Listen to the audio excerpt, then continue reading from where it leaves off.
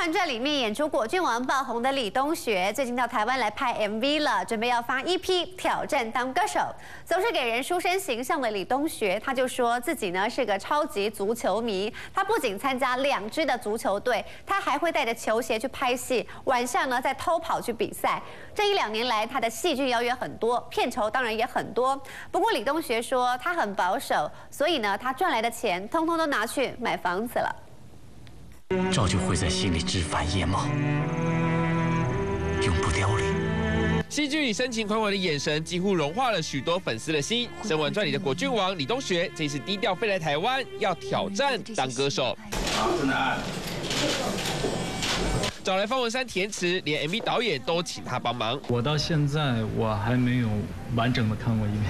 为什么？因为《甄嬛传》完了之后，一直在忙于拍其他的工作，呃，没有想象中的有距离感。对，因为那时候在家看《甄嬛传》的时候，就觉得，就觉得好像好像另外一个世界的人。而一向给人书生气息的李东学，其身材的肌肉线条可是人谋杀不少底片。照片里只穿一件针织衫，完全遮不住壮硕的胸肌。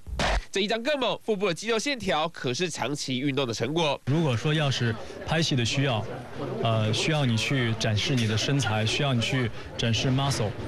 那么这段时间我会集中的时间去健身房。爱运动的李东学这一次接受东森财经新闻独家访问，透露自己可是个超级足球迷。我去拍戏的时候，我都会带着鞋去，因为你知道在在内地有很多城市，它有很多大学，很多大学城，很多大学生都会去踢球。哪天没有戏了，就拿着球鞋就去，偷偷跑去大学，偷偷跑去跟他们一起踢。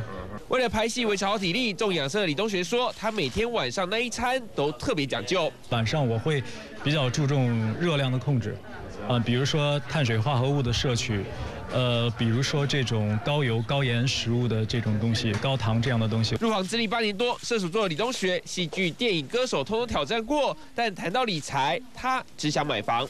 拍戏的一些片酬。一些结余下来的钱，可能就会存钱，可能去会买房子。对于基金、股票等等，我还真的是没有特别多的研究。不熟悉的东西绝对不碰。看来现实生活的果郡王对理财投资可是一点都不马虎。东森财经新闻黄金吴志明台场报道。